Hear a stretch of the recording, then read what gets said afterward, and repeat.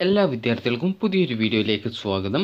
ഈ വർഷത്തെ Kerala engineering architecture medical and medical allied courses അതുപോലെ ബി ഫാം ഫാർമസി കോഴ്സസ് പ്രവേശനത്തിനായിട്ടുള്ള ഓൺലൈൻ അപേക്ഷ ആരംഭിച്ചു.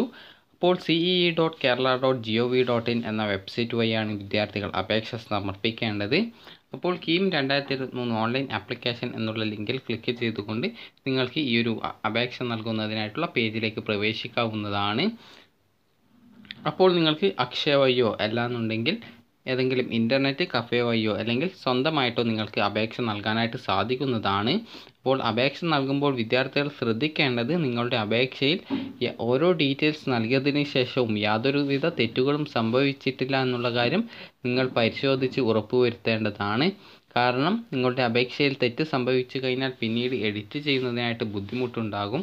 അതുകൊണ്ട് തന്നെ അതായത് എഡിറ്റ് ചെയ്യാനായിട്ട് സാധിക്കാതെ വരും അപ്പോൾ അതുകൊണ്ട് തന്നെ അപേക്ഷ നൽകുമ്പോൾ തെറ്റാതെ നിങ്ങൾ അപേക്ഷ നൽകുക. അപ്പോൾ ഈ വർഷത്തെ കേരളത്തിലേക്കുള്ള മെഡിക്കൽ അതുപോലെ മെഡിക്കൽ അലൈഡ് കോഴ്സസ് അതുപോലെ എഞ്ചിനീയറിംഗ് ആർക്കിടെക്ചർ ഫാർമസി കോഴ്സസ് അതായത് ബി ഫാം കോഴ്സസ് പ്രവേശനത്തിനായിട്ടുള്ള കീം രണ്ടായിരത്തി ഇരുപത്തിമൂന്ന് എൻട്രൻസ് എക്സാമിനേഷൻ ആരംഭിച്ചു. അപ്പോൾ ഏപ്രിൽ പത്താം തീയതി വൈകുന്നേരം അഞ്ച് മണി വരെയാണ് ഈ ഒരു അപേക്ഷ സമയം പോൾസ് സയൻസ് ഗ്രൂപ്പ് എടുത്തിട്ടുള്ള വിദ്യാർത്ഥികൾക്ക് ഈ ഒരു കീം എക്സാമിനേഷൻ രജിസ്ട്രേഷൻ ചെയ്യാനായിട്ട് സാധിക്കുന്നതാണ്. അപ്പോൾ പ്ലസ് ടു എക്സാമിനേഷൻ ഇപ്പോൾ എഴുതിക്കൊണ്ടിരിക്കുന്ന വിദ്യാർത്ഥികൾക്കും പ്ലസ് ടു കഴിഞ്ഞിട്ടുള്ള വിദ്യാർത്ഥികൾക്കും ഈ ഒരു രജിസ്ട്രേഷൻ ചെയ്യാവുന്നതാണ്. അപ്പോൾ പ്ലസ് ടു കഴിഞ്ഞിട്ടുള്ള വിദ്യാർത്ഥികൾ അതായത് പ്ലസ് ടു പാസ്സായിട്ടുള്ള വിദ്യാർത്ഥികൾ ആണ് എങ്കിൽ നിങ്ങൾ ആർക്ക് അപ്ലോഡ് ചെയ്യേണ്ടതായിട്ടുണ്ട്? അതേസമയം പ്ലസ് ടു ഇപ്പോൾ പരീക്ഷ എഴുതിക്കൊണ്ടിരിക്കുന്ന വിദ്യാർത്ഥികൾ ആണെങ്കിൽ നിങ്ങൾക്ക് S S L C certificate വെച്ചുകൊണ്ട് തന്നെ നിങ്ങൾക്ക് അപേക്ഷ നൽകുന്നതിനായിട്ട് സാധിക്കുന്നതാണ്. അപ്പോൾ കേരളത്തിലുള്ള മെഡിക്കൽ ആൻഡ് മെഡിക്കൽ അലൈഡ് കോഴ്സസിലേക്കും അതുപോലെ എഞ്ചിനീയറിംഗ് ആർക്കിടെക്ചർ അതുപോലെ ഫാർമസി കോഴ്സസിലേക്കും അഡ്മിഷൻ ആഗ്രഹിക്കുന്ന വിദ്യാർത്ഥികൾ കീം രണ്ടായിരത്തി ഇരുപത്തി മൂന്നിനുള്ള ഒരു അപേക്ഷയാണ് നൽകേണ്ടത്. അപ്പോൾ ആ ഒരു ഒരു അപേക്ഷയിൽ തന്നെ നിങ്ങൾ ഏതൊക്കെ കോഴ്സുകളിലേക്കാണ് അഡ്മിഷൻ ആഗ്രഹിക്കുന്നത് ആ ഒരു കോഴ്സുകൾ സെലക്ട് ചെയ്ത് നൽകുകയാണ് ചെയ്യേണ്ടത്. അതായത് കീം രണ്ടായിരത്തി ഇരുപത്തി മൂന്നിനുള്ള അപേക്ഷ നിങ്ങൾ നൽകുന്ന സമയത്ത് ആ ഒരു അപേക്ഷയിൽ നിങ്ങൾക്ക് ഓപ്ഷൻ ഉണ്ടാകും അതായത് എഞ്ചിനീയറിംഗ് അതുപോലെ ആർക്കിടെക്ചർ മെഡിക്കൽ അതുപോലെ മെഡിക്കൽ അലൈഡ് കോഴ്സസ് അതുപോലെ ഫാർമസി അതായത് ബി ഫാം കോഴ്സസ് എന്നിങ്ങനെയുള്ള ഓപ്ഷൻ ഉണ്ടാകും. അപ്പോൾ നിങ്ങൾ അതിൽ ഏതാണ് നിങ്ങൾ എക്സാമിനേഷൻ എഴുതാനായിട്ട് ഏതൊക്കെയാണ് ആഗ്രഹിക്കുന്നത്? ഏതൊക്കെ കോഴ്സിലേക്കാണ് അഡ്മിഷൻ ആഗ്രഹിക്കുന്നത്? ആ ഒരു കോഴ്സുകളൊക്കെ നിങ്ങൾ ആ ഒരു സമയത്ത് ആ ഒരു ഒറ്റ അപേക്ഷയിൽ സെലക്ട് ചെയ്ത് നൽകുകയാണ് ചെയ്യേണ്ടത്. അപ്പോൾ ഒരു അപേക്ഷ മാത്രമേ നൽകാൻ പാടുള്ളൂ. അപേക്ഷ നൽകുമ്പോൾ ഡീറ്റെയിൽസ് തെറ്റാതെ ശ്രദ്ധിക്കേണ്ടതുമാണ്. അപ്പോൾ ഈ ഒരു medical and medical allied courses അതായത് medical and medical allied courses എന്ന് പറയുന്നത് M B B S B D S അതുപോലെ Ayurveda homoeo Siddha Unani agriculture forestry അതുപോലെ വെറ്റിനറി ഫിഷറീസ് അതുപോലെ ഫാർമസി കോ അതായത് ഫാർമസിയിലെ കോഓപ്പറേഷൻ ആൻഡ് ബാങ്കിങ് അതുപോലെ ക്ലൈമറ്റ് ചേഞ്ച് ആൻഡ് എൻവയോൺമെന്റൽ സയൻസ് അതുപോലെ ബി ടെക് ബയോടെക്നോളജി എന്നീ കോഴ്സുകളാണ് medical and medical allied courses എന്ന് പറയുന്നത്. അപ്പോൾ ആ ഒരു കോഴ്സിലേക്ക് നിങ്ങൾ അഡ്മിഷൻ നേടണം എന്നുണ്ടെങ്കിൽ കീം രണ്ടായിരത്തി ഇരുപത്തി മൂന്ന് എക്സാമിനേഷനുള്ള മെഡിക്കലിന് register medical and medical allied കോഴ്സസിന് registration ചെയ്യണം. അതായത് ആ ഒരു കോഴ്സ് സെലക്ട് ചെയ്ത് നൽകണം. അത് അതുപോലെ തന്നെ നിങ്ങൾ നീറ്റ് എക്സാമിനേഷൻ നീറ്റ് രണ്ടായിരത്തി ഇരുപത്തി മൂന്ന് എക്സാമിനേഷന് ക്വാളിഫൈ ചെയ്യുകയും ചെയ്യേണ്ടതാണ്. അതുപോലെ തന്നെ ആർക്കിടെക്ചർ കോഴ്സാണ് നിങ്ങൾ ആഗ്രഹിക്കുന്നത് എങ്കിൽ നിങ്ങൾ നാറ്റ എക്സാമിനേഷൻ അതായത് national aptitude test of architecture രണ്ടായിരത്തി ഇരുപത്തി മൂന്ന് എക്സാമിനേഷൻ രജിസ്ട്രേഷൻ ചെയ്തുകൊണ്ട് അതിൽ ക്വാളിഫൈ ചെയ്തിരിക്കണം. അങ്ങനെയെങ്കിൽ നിങ്ങൾക്ക് ഈ ഒരു ആർക്കിടെക്ചർ കോഴ്സ് പഠിക്കാൻ സാധിക്കും. അപ്പോൾ ഈ ഒരു കോഴ്സുകളൊക്കെ ആഗ്രഹിക്കുന്ന വിദ്യാർത്ഥികൾ ആ ഒരു രജിസ്ട്രേഷൻ സമയത്ത് ആ ഒരു ഒറ്റ അപേക്ഷയാണ് നൽകേണ്ടത്. ആ ഒരു അപേക്ഷയിൽ തന്നെ ആ ഒരു കോഴ്സുകളൊക്കെ സെലക്ട് ചെയ്ത് നൽകുകയാണ് ചെയ്യേണ്ടത്. അപ്പോൾ എഞ്ചിനീയറിംഗ് ഫാർമസി കോഴ്സിലേക്കുള്ള അഡ്മിഷനാണ് കീമിൻ അതായത് ആ ഒരു എഞ്ചിനീയറിംഗ് അതുപോലെ ഫാർമസി കോഴ്സിലേക്ക് അഡ്മിഷൻ ആഗ്രഹിക്കുന്ന വിദ്യാർത്ഥികൾക്ക് കീം എക്സാമിനേഷനിൽ അതായത് കീം രണ്ടായിരത്തി ഇരുപത്തി മൂന്ന് എക്സാമിനേഷൻ എഴുതേണ്ടതാണ്. അപ്പോൾ എഞ്ചിനീയറിംഗ് ആഗ്രഹിക്കുന്ന വിദ്യാർത്ഥികൾ ആണെങ്കിൽ പേപ്പർ വൺ ആയിട്ടുള്ള ഫിസിക്സ് ആൻഡ് കെമിസ്ട്രിയും അതുപോലെ പേപ്പർ ടു ആയിട്ടുള്ള മാത്തമാറ്റിക്സും എഴുതിയിട്ട് ക്വാളിഫൈ ചെയ്യണം. അപ്പോൾ പത്ത് മാർക്ക് ലഭിക്കുകയാണെങ്കിൽ നിങ്ങൾ അതിന്റെ ആ ഒരു ലിസ്റ്റിൽ ഉണ്ടാവുന്നതാണ്. അപ്പോൾ നിങ്ങളുടെ പ്ലസ് ടുവിന്റെ അതായത് പ്ലസ് ടു സെക്കൻഡ് ഇയറിന്റെ ഫിസിക്സ് അതുപോലെ കെമിസ്ട്രി അതുപോലെ മാത്തമാറ്റിക്സ് എന്നിവയുടെ സ്കോറും അതുപോലെ എൻജിനീയറിംഗ് എൻട്രൻസിൽ നിങ്ങൾക്ക് അതായത് കീം എക്സാമിനേഷനിൽ എത്ര സ്കോറാണ് ലഭിച്ചത് ആ ഒരു സ്കോറിനെയും ഫിഫ്റ്റി ഫിഫ്റ്റി പെർസെന്റേജ് അനുപാതത്തിൽ എടുത്തുകൊണ്ടാണ് റാങ്ക് പട്ടിക തയ്യാറാക്കുന്നത്. അതുപോലെ ഫാർമസി കോഴ്സ് ആഗ്രഹിക്കുന്ന വിദ്യാർത്ഥികൾ ആണെങ്കിൽ കീം എക്സാമിനേഷന്റെ പേപ്പർ വൺ അറ്റൻഡ് ചെയ്താൽ മതിയാകും. അപ്പോൾ പേപ്പർ വൺ എന്ന് പറയുന്നത് ഫിസിക്സ് ആൻഡ് കെമിസ്ട്രി ആണ്.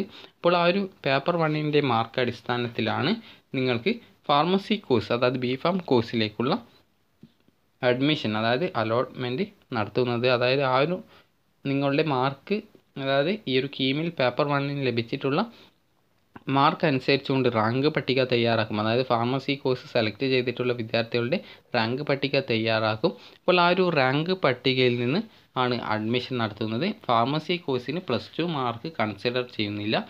എൻജിനീയറിങ്ങിനാണ് പ്ലസ് ടു മാർക്ക് കൺസിഡർ ചെയ്യുന്നത്. അതുപോലെ medical and medical allied courses ആഗ്രഹിക്കുന്ന വിദ്യാർത്ഥികളാണെങ്കിൽ നീറ്റ് യു ജി രണ്ടായിരത്തി ഇരുപത്തിമൂന്ന് എക്സാമിനേഷനിൽ ക്വാളിഫൈ ചെയ്യണം. അപ്പോൾ NEET U G examination apply ചെയ്യുന്നതിനുള്ള ലാസ്റ്റ് ഡേറ്റ് ഏപ്രിൽ ആറാം തീയതിയാണ്. അതുപോലെ തന്നെ ആർക്കിടെക്ചർ കോഴ്സ് ആഗ്രഹിക്കുന്ന വിദ്യാർത്ഥികൾ ആണെങ്കിൽ നാറ്റ എക്സാമിനേഷൻ അതായത് കൗൺസിൽ ഓഫ് ആർക്കിടെക്ചർ നടത്തുന്ന national aptitude test in architecture എന്നുള്ള എക്സാമിനേഷനിൽ നിങ്ങൾ ക്വാളിഫൈ ചെയ്യേണ്ടതുമാണ്. അപ്പോൾ വിദ്യാർത്ഥികൾക്ക് ഏപ്രിൽ പത്താം തീയതി വൈകുന്നേരം അഞ്ച് മണി വരെയാണ് ഈ ഒരു കീം രണ്ടായിരത്തി ഇരുപത്തിമൂന്ന് എക്സാമിനേഷൻ അപ്ലൈ ചെയ്യാനായിട്ട് സാധിക്കുക. അപ്പോൾ അപ്ലൈ ചെയ്യുന്നതിനായിട്ട് ആവശ്യമായിട്ടുള്ള ഡോക്യുമെന്റ്സ് എന്ന് പറയുന്നത് നിങ്ങളുടെ S S L C certificate അതുപോലെ തന്നെ നിങ്ങളുടെ ആധാർ കാർഡ് അതായത് ആധാർ കാർഡിന്റെ നമ്പർ ആവശ്യമായിട്ട് വരും. അപ്പോൾ അതുകൊണ്ട് ആധാർ കാർഡ് വേണം. അതുപോലെ തന്നെ നിങ്ങളുടെ ഒരു ഫോട്ടോ പാസ്പോർട്ട് ഫോട്ടോ ആവശ്യമാണ്.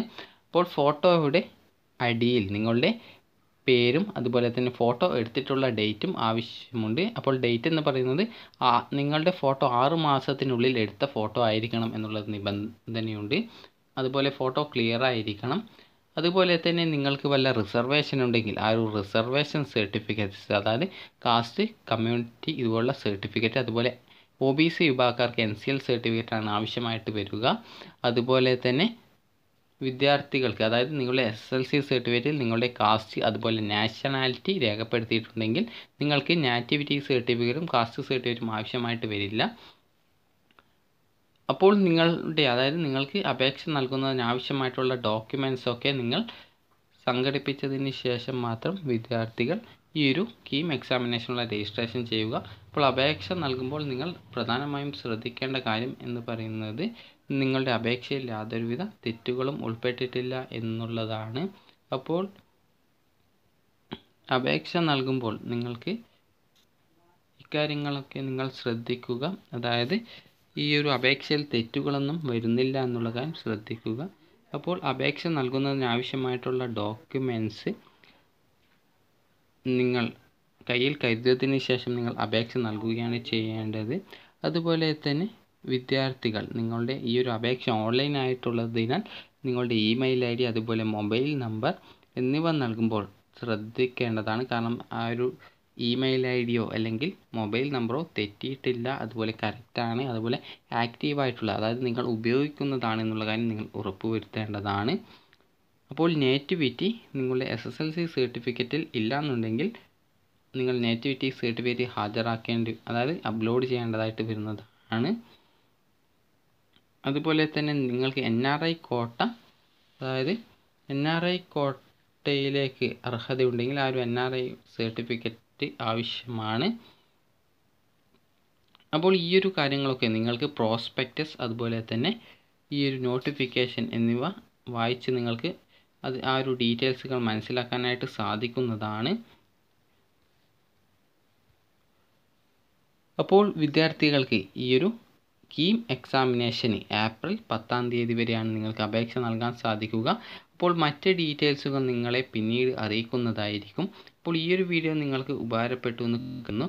ഉപകാരപ്പെട്ടുവെങ്കിൽ ലൈക്ക് ചെയ്യുക ഷെയർ ചെയ്യുക. Thank for watching